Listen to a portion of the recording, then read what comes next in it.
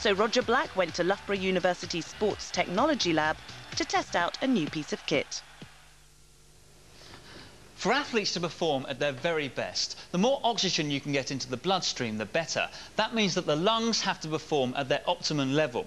Now, breathing is controlled by the muscles that surround the lungs, predominantly the diaphragm, but also in between the ribs. Make these muscles stronger, in theory, then the lungs should perform better. Now, that's where this piece of kit comes into play. It may look a little bit funny, but it's still at the prototype stage. The vest is designed to give the muscles around the lungs something to push against. They get fitter the harder they work, and that will benefit overall performance.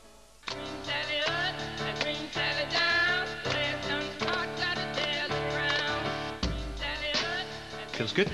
Tight. Right, well, I've got the vest on, and it's already very tight. I'm just going to make it even tighter by pulling on these here, just to really get the pressure in on the muscles. And I reckon that's about as tight as I can handle. I can really feel it here, especially uh, around the ribs and the intercostal muscles. So, uh, Mike, what do, you, what do, you, want me to do? I've got a cycle ergometer here. Right. Going to get you to exercise on there, nice and low, okay. first few minutes. And then when you're ready, I'll ask you to go onto the mouthpiece and we'll start recording your breathing and heart so rate. So just pedal away, yeah? Yes, that's great. When you're ready, I'll pass that to you.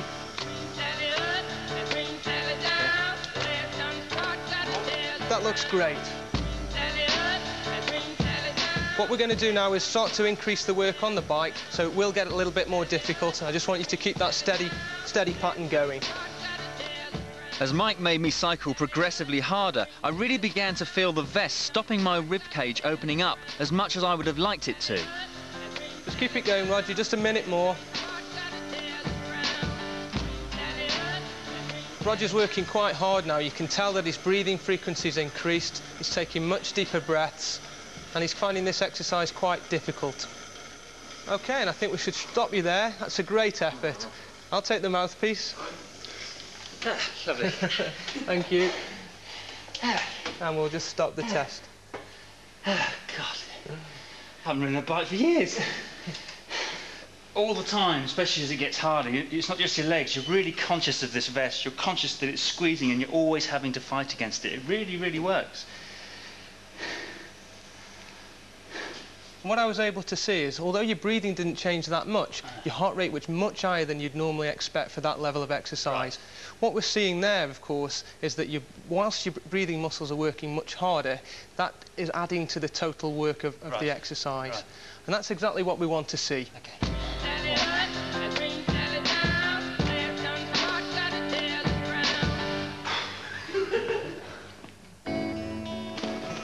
And here's some more evidence for the vest. Greg Haynes is a student at Loughborough who also swims for Wales. He helped design and trial the vest after an injury prevented him from swimming for 15 months.